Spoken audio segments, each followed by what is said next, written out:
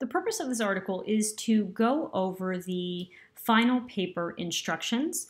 Now, the way that the semester is broken down is um, this is your final paper, but you take one section as a time and we go through it week by week. So you submit a section one week and then I revise I give you feedback on it and then you submit that again, you know, in 2 weeks with a, a new section attached. And so I'm just going to go over the whole paper in this video. Um, so this is the final paper format details. Um, and so as you see here, you're going to see the headers. So these are going to be the headers for your study. Now, please do not put these check marks or the bullet points. You are expected to follow APA headers um, in that sense. So, you know, so purpose will be an APA header level one. And if you need to know what that is, go to the Purdue OWL website and they will explain to you how to do a level one header. And so all of these three here are level one, and then these are level two, and then, um, you know, we go back there. Okay, so the first thing that you do as you open up the paper is you need to indicate what the objective of the study is. And then you indicate the research questions and the hypothesis. And here's an example. The objective of the study is to test the impact of X on Y. Um, the research question is, does X reduce Y in Z population in M setting? Hypothesis, X will reduce Y in Z population in M setting. Uh, so a specific example might be um, the objective of the study is to test the impact of cognitive behavioral therapy um, on depression. The research question is Does cognitive behavioral therapy or CBT reduce depression in adolescents in Hong Kong?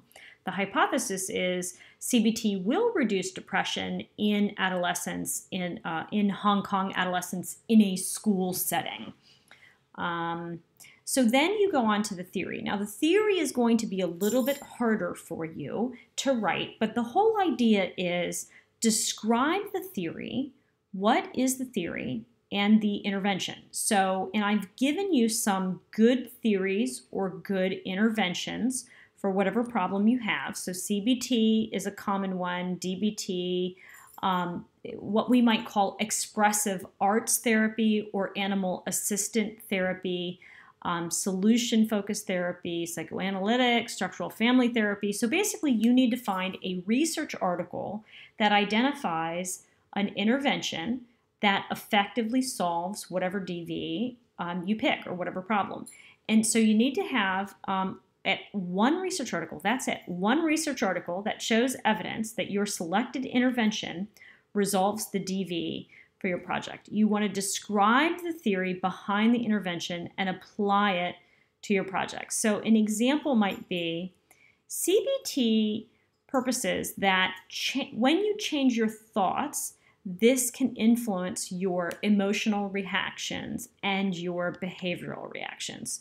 So, when you have anxiety provoking thoughts, this can lead to an increase in anxiety emotions, and then that leads to unhelpful behavior, such as avoiding situations, and that can also lead to anxiety. So, a client who uses, and here's where you come into the specific activity or intervention, is that clients will use a thinking report in order to change the thoughts um, which will then decrease their anxiety and then change their behavior. And so you want to describe how it's supposed to work and at least one specific intervention. Then we're going to go on to the methods section. And we start off with IRB and informed consent. And so this is where you need to describe who was the IRB that approved the study, what level of study will it be or what type of application? So in this case, is it expedited? Um, is it exempt, expedited, or full, and why? And the difference is, is if the participants are at uh, less than minimal risk, minimal risk, or more than minimal risk, that's what it describes. And, and we've gone through that in the weeks in the um, in the class. There's a week that specifically devotes to that. Um, and then also, you want to talk about the informed consent. How are you giving the participants information? How are they consenting? Uh, and then here's an example of this paragraph. Then you're going to talk about the design and the intervention plan. You must design what the specific uh, you must uh, identify the specific design and the main quant designs are non-experimental, quasi-experimental, or full experimental. Then you have to talk about the qualitative designs, and there's a few examples of what that may be here because you are designing a mixed methods study. Mixed methods includes quantitative and qualitative. Um, you're also going to talk about, so the type of data is qualitative and quantitative.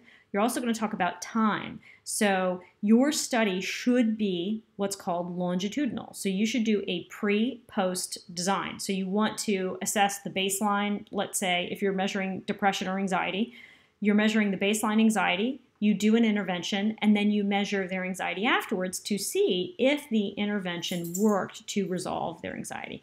Finally, you provide a diagram. Um, another thing you do is you describe what the type of SPSS data is. Um, how are you going to record it in SPSS? And there is a section in D2L that talks about levels of measurement. That's what this is. Um, and so um, that's that's that. And the time, again, it's longitudinal, but you also need to know what's the difference between cross-sectional and longitudinal because that will be on a quiz. The diagram is simply a visual depiction that uses O's and X's to describe how it's going to look. And I, I give you an example here. Um, and so a diagram is simply something that looks like this. Um, this would be a quasi-experimental design. Uh, what, and here's a question for you to think about, what would I need to add to make this an experimental design? You then talk about sampling and data collection. So who are you going to sample? How are you going to sample them? Are they going to be randomized or not? And then um, either way, what specific sampling procedure are you going to use? And I list the ones of what they are here. Um,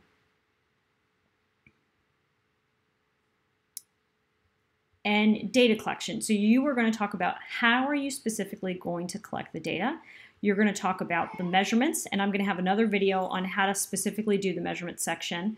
Finally, you're going to talk about whatever your projected limitations are, and then you have a number of appendices that you're um, required to include. So the informed consent that you created, that should be in here. Um, I want a list of the qualitative questions that you have created. I want a copy of the quantitative measurement tool as well as the validation article for the quantitative measurement tool. I want to, you know, we, you need to select a validated article. Uh, and then finally, um, one research article that has indicated that your proposed intervention actually solves uh, the DV or the problem. And this is how the points go. That is, um, that's how the paper is going to be structured. Now, this is a quick overview of the whole paper. I'll do more detailed videos about the different subsections. But if you have any questions, just let me know.